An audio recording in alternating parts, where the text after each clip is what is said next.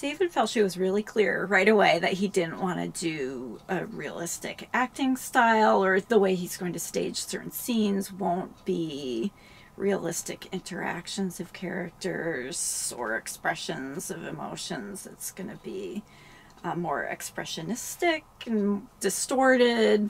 And so I knew that from the outset. Um, however, our approach to the youth in the story is actually realistic. It's um, period, it's 1890s, um, German. But then with the adult characters, that's what's not realistic. And so with the designs for those, I was actively looking for ways to kind of provoke non-realistic gestures and movements or to limit the movement in the adult characters so so in a way so the the end solution for for the adult characters is to have them in masks um, and in these sort of shrouds over their body partly to to limit um, their body movement as far as connecting with other characters through their arms and things like that. Some of them have arms, um, but also to um, obscure their legs. I love doing research for plays. It's one of my favorite parts of the process. Um, and it's actually, it's a big part of my creative process. I think some people think of research as something you sort of do and it's your homework and then you get on to the creative work. And the whole process of doing research and collecting imagery is very creative in itself. But this one I was able to find really detailed and very personal photography of family groups and um, school photos, like class photos of children and their teachers. So that was immensely helpful. Um, so I'll get, you know, kind of one round of feedback from the research and then I'll start doing line drawings and then I'll meet again with the director and and often with the design group as a whole. Based on how we're feeling about those, I'll revise those um, and share revisions. And then again, you know, do whatever tweaking I need to do. And then I'll invest the time in painting them. So Melchior, with him, I did um, try to create an outfit within the look of the the young men I saw in the school photos, a very kind of matched and tailored outfit, whereas some other characters might be less matched, more worn in, or, you know, like there's a different history behind the clothes, or if they've been altered a lot to, to you know, fit them as they grow. Moritz is a little different in being a non-matched outfit, just as far as a contrast to him.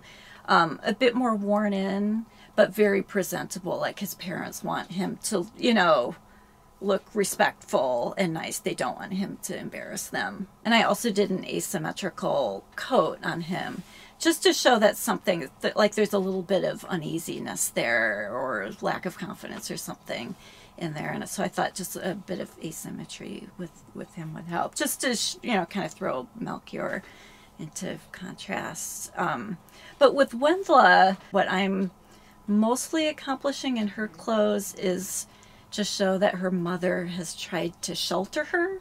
So she is quite covered up and just very, very kind of simple, not showy, but nice, you know, nice and pretty. There's some girlish lace on her, uh, but she is more covered up and sheltered. But still, you know, she's been kind of kept in a state of ignorance. The first thing I do is go to our costume storage. We have a a warehouse space where we keep all of our clothes from past productions and donations and things like that. Um, I go out there and spend um, a show like uh, Awakening of Spring. I spent cumulatively probably a week out at the warehouse. At the same time, I know I need to get materials here for things that are going to be made to Lisa, or she's not going to have enough time to complete things. So as soon as I've gotten that pulling done, I do tend to go out. I'll go to the garment district in New York and shop for fabrics that we need just to make sure that they're here in time for when Lisa needs those. Um, and then at that point, either I'll have a round of fittings to see if what I pulled worked, or if I still need a lot of other pieces, which is usually the case, I do some amount of purchasing of things that can be altered or whatever to work with the look of the show. And in every production, um, we're combining things that are pulled, purchased and altered, rented, and made. It's all different things combined to, you know, complete the to satisfy the look of each sketch that I've done. So we have a lot of students involved in the costume shop working within our PMA 1610 production lab. So um, they get course credit while they're working here with uh, Lisa in the costume shop and I'm kind of floating through working with them depending on what days they're they're in. Uh, but it's a great way to learn from Lisa um, sewing skills appropriate to theater and actually work on the clothes, whether it's altering clothes or assembling new things um, that Lisa has draped and patterned, or even working on craft work, like we're doing masks. Sometimes it's working on shoes and accessories, but they get to do all different kinds of things, including maintaining the shows as well once they're running. So that's a great way to be involved. Um, if someone's interested in seeing the show up on its feet backwards, we have backstage opportunities. So there's the 2610 production lab that is running the show. So that's when students get to work with actors backstage and listen to what the director is saying during tech rehearsals and all that. So that's kind of a way to see it all come together. You know, that sort of last push of getting a show up on its feet. Um, if students are just interested in costume design, uh, the biggest advice I have is to see as much as you can. See as many uh, performances, plays, dance, opera, and film. And then also, if they're interested in costume design, take my class. I offer costume design every spring. And uh, and it's really fun and interesting, and, and we kind of go step by step through the process on three different stories that we work on in there.